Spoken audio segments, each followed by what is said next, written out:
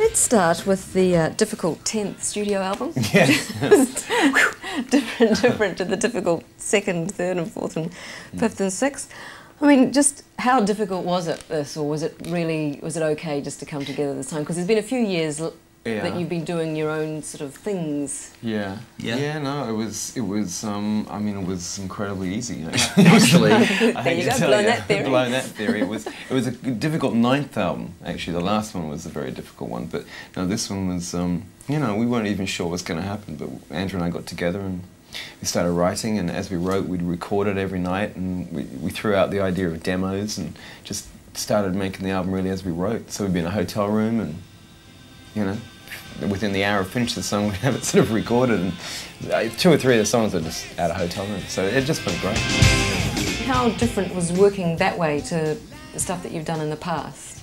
Well, we just, you know, We didn't try to recreate what, what Andrew and Michael had written or Yeah. any of us had written in the past. You know, this this album just went bang, bang, bang. You know, and it was e- everyone had heard the record before we went into the studio to make it, and basically we all knew what we had wanted to do and had to do, sort of thing. So it just made it really quick, and it, in, in a sense, it keeps it keeps a certain attitude from the band Yeah. that we've you know we've tried to find in, oth- in other records that found it before in to places, but it's just that. Yeah. Well, this is it's what the difference is that it's how you arrive at the first take. You Mm. know, it's how you think about it. It's instead of it's just like, look, this is what we are. This is what we do. Just keep it raw and and, and Mm. go for it. You know, first take. I mean, we did made the out. We did 16 tracks in eight days, Mm. and that was it. Shut my mouth when the rap I We spent the last five years putting an, out an album, nearly, you know, four albums in five years, and we, and in some ways that's too much, you know, and it lacks direction. You're sort of just throwing it out all the time, and you don't, people don't have time to ca- catch up with it or understand it. And I, and I think we just disappeared for a couple of years.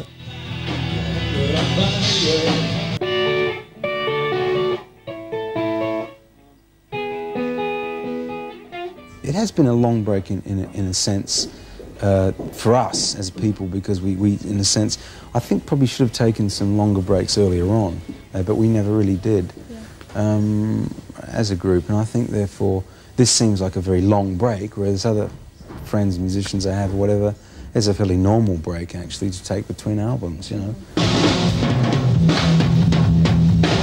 Do you think that's the way then to kind of get excited about the music again? Because I, you know, obviously we're going to talk about that mm. as we go on, but having been together mm. for the length of time that you mm. have, Yeah. just how Well, do I- you generate that? Well, I think you just, I mean, I think you just get excited, but if you, ha- if you, if you think you've got some good stuff, then you're gonna get excited. Hopefully, if you've still got anything going on up here and the band's still got its dynamic, and you still actually do want to play music together, which we do, you know, regardless. Um, then yeah, then, then the you know, good songs makes for a happy band, makes for excitement. You know what I mean? It's like a relief for me. Um, INXS is like a drug to me. It's like I, I need it. Uh, it's, uh, it's a vehicle for me to express what I do best and what I love the most. And um, I always get a little tingling feeling before we do any record. Last time, you know, we, probably our toughest time, we just, uh, where we, we were trying to get off a contract with Atlantic and, and get, leave our manager, and we had, you know, producers downstairs and lawyers upstairs. You know, the ultimate cliche nightmare, you know, it was just uh, really tough. So this one is just, you know, get on with it. This album seemed to me that there was a lot of um, uh, space in there.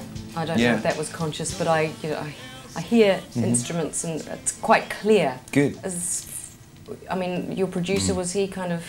Well, you the- didn't have much. You said you we didn't really have a, them too much. the produce production just came out of the, Bruce. the songwriting. We, had, we we worked with an engineer uh, while we were, we were doing that, uh, and a guy, and um, I, I, th- I think uh, I think the space just came out of trying to you know uh, just keep things simple as we wrote, and we and then we listened to it and found that that became the style. You know, we just wanted to, yeah, there's bridges that go to different places. You know, a lot more, so- a lot more sonically um, imaginative. I think the record. In simple and clear spaces, but they go to different places. I think we rediscovered restraint on this record.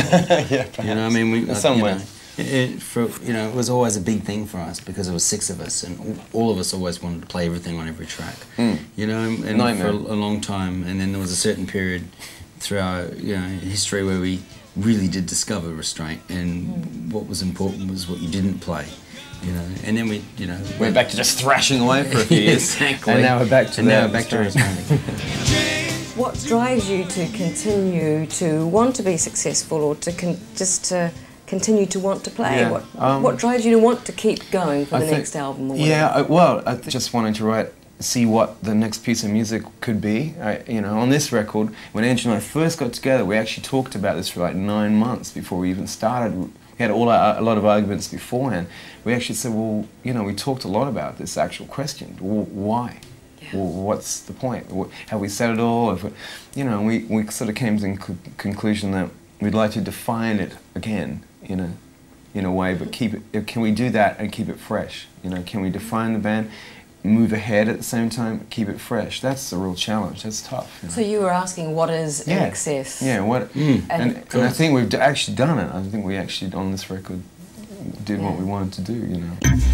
Been together for 17 years. Yeah. I can't help but think that over 17 years there, it, it can't have been a happy marriage all the way. There, No. Have there been times where you thought that, like so many other bands who started out when you did and have fallen by the wayside? There's a few of us left. We sort of came out of that weird generation of you know born between punk and disco, and it's and mm, pretty tenacious who are left. The you know REM's, U2's, Depeche Mode's, you know, but it's not many. I, I don't know. I think all those bands, and um, we know them all, and have met them all, and we all are kind of people that. I don't know. We're made of that sort of stuff or something, you know. We, we basically are friends, and we, you know, it, it sounds trite, you know, but it's the way it works. You know, we we pull each other through. Each we've all had our moments where it's just like, for whatever reason, usually not not a music thing at all, so much as outside mm. stuff, family or this or you know, mm. you know. We started as a gang of mates and then called it INXS, and then we kind of attempted to grow up and, and, mm. and, and, and broaden our horizons and have your wilderness periods, let's call it, and and children or whatever you want to do, and we've given each other enough rope so that y- y- we, we're still interested in each other because we're all really different people in many ways. You still go out and have a, a, a drink after Oh, you yeah. get together. Does it feel like a, Oh yeah. Before and after. yeah. Oh yeah, you know, we still, we still, um, we can still have a really good time together. I mean, you know, we, Basically, we It's not the Partridge Family. I mean, No. we have a place. I think one of it is also Look. being Aussies. We're very. We don't have. I When- don't think we have did you that ever see the- preciousness and, and you know harboring and, and playing power games behind backs and you know hmm. it's just like look this is what I think if you don't like it so what you know okay let's work it out you know Well, whack and get When get did on you ever see it. the Partridge Family go out to the Bains Douches for dinner? exactly I mean, you know. yeah. or Yeah. swap houses and and, friends or and whatever? you know, and there was always a. You always got this impression there was a band leader. but there's is not it. with you guys. yeah. Very democratic. Very There's no such thing as democratic rock band. Oh, I didn't. Someone, quite someone has to lead somewhere along the line. Someone has to and, and be we all blamed. take our Yeah. turns. You know.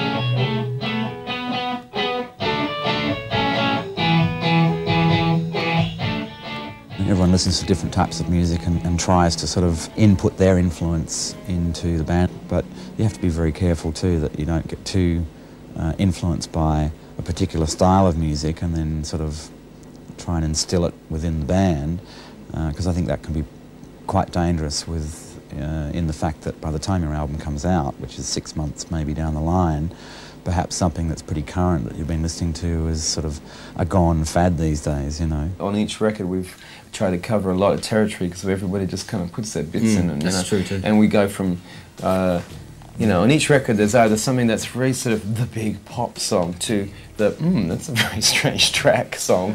Mm. um, and so we cover a lot of territory. We don't make an album the big concept. It's actually quite interesting in a way releasing a record now because the I, the music climate I think probably changed as you could tell me more about it than I can even say to you. But when you started, there's no actually guarantee of positioning anymore. You know, when you yeah. you were like the biggest band for MTV for a while there in the States, Mm. and there was like if there was a guarantee that if you released something, it was going to go top Yeah. of the chart. Now, it's like who knows where you can be because Britain has their own thing going with Britpop, blah blah blah. Yeah, America yeah. is I don't know how you break America Well, again. You know, it's I think actually th- there's been a there's been a period for, for a few years. Yeah, you're right. Where where you actually had to come from Seattle or Manchester or you know to, to get uh, played on anything you know or to even be noticed you know and that's another good reason why we were sort of hanging back to put a record out and after that and, we, and the, it's a great thing for the for England and the States and stuff but it, it, once everybody gets over that kind of you know, uh, it's like blinkers on, you know, wow, we're having a whole resurgence and it, and it sparks everything up, which is great. But we're from Australia, you know, mm. proud of it and it's different and we do our own thing. But what, now that it's all calming down, people, the good thing about it is that is what happens after that and people's ears and eyes kind of open mm. up again to a whole new thing, which is, I hope, going to be good for us. Yeah. There's a lot of formulas out there, uh, you know, I think mm. there's people. I just want to turn the f***ing radio and go like, yes, jams. You know, I think there's a lot of people that are 20, in the, you know, who, who- who've probably grown up with us. You know, like we've grown up with us. Uh, who who pro- hopefully are going to like this record. I think there's people out here who, the last time we made a record, we were probably 10 years old, and you know, Yeah. it's weird. And and so we're a brand new thing to them, and I, and I'd love them to check it out, steal it, borrow it, whatever. You know. So James, my oldest son, for a long time, you know, in in, in, in, INXS wasn't sort of probably one of the choices of bands. He's a sort of punk Okay. kind of guy, you know. But now, we, we, I mean, he looks at us as like one of his, you know, icons in, in a mm-hmm. sense, and I think it's really cool. And so does his friends. When when we went and saw Smashing Pumpkins together, I took him and a whole bunch of his friends, you know. And I, there was my son across, de- floating across the mosh pit, you know, fun. and they played to an excess song. Yeah, that's right. Yeah. So you know, I mean, You were like, oh, yeah, you know, and then we, we went back and You're the okay, guys, Dad. Billy and Jimmy, and, and they were all really cool, and it was really nice. And it makes you think, well, you know, this is great. In terms of pitching yourself, I mean, is that an issue? Pitch. I mean, knowing where to pitch yourself now in terms of all the other bands that are out there. uh, yeah. Did, do you, have you thought about that with this album, or is it not? I, I don't know. I think we've always been a trouble spot, you know, for, for anyway. You know, we've always been, uh, we've always, you know, we, we were one of the first bands to, to make popular this kind of mixture of styles, you know, funk and rock and roll, whatever you wanted to call it. Yeah.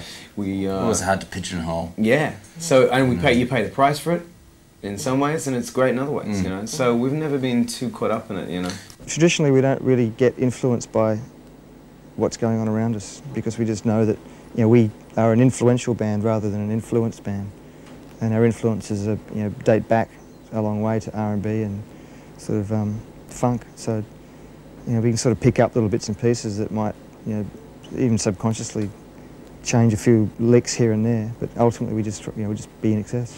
I wanted to ask you about whether the kind of tabloid expectation that you exploitation that you'd kind of suffered over the last year had and a half had kind of affected the way this album came together and perhaps the rest of the band. Whether there was a kind of a because you had so much else to contend with here, whether that affected what you were doing Actually, as a musician. It's strange. Yeah, I mean, of course it does. I mean, you know, I, hope it does. Otherwise, I must be dead. um, as an artist, you just gotta, you know, or whatever pretentious word I want to slap to onto it. You gotta be picking stuff up, whether you like it or not. But you want to make it universal. As far as putting it onto the record, I don't want to make it sort of, uh, you know, poor me, or you know, I have to make a universal, you know, lyrically, you know, so people get something, everybody gets something out of it, hopefully. Is that in any way autobiographical from anybody? I mean, you and Andrew. Well, I write, I write all the lyrics, but but um, yeah, no, yeah, it's just just a straight out. I think on this album, I really wanted to do.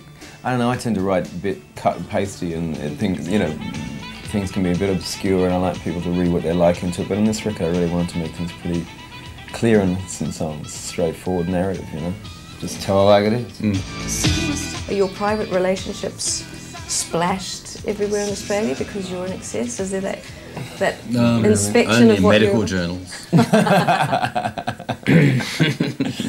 no, not really. Um, not Uh-huh. really. No. No, um, you know, it's not.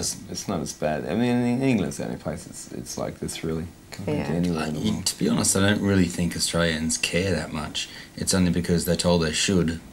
That, you know, Occasionally they do. Occasionally they do. Stuff gets picked up, you know.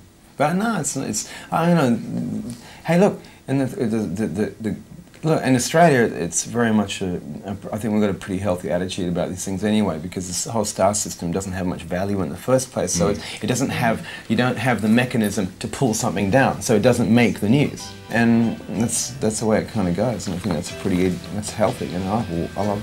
I can walk around the street and do it all right, and it's like, get out. Becoming a father, does that? I mean, I know there are other dads in the band, so you've Eight. seen We've got eight children in the band now. it's a travelling circus. yeah, absolutely. Well, Does, does it mean that you go on tour then to get a good night's sleep? Is that how it works? Yeah, no, it's the same hours. Yeah. Yes, Yeah, I, um, I don't know. Tim's Tim's got a 15 year old uh, son. You know, he, he he's the he's the professional here. yeah, right. So you're the encyclopedia. and People come to Yeah, what no. happened when this.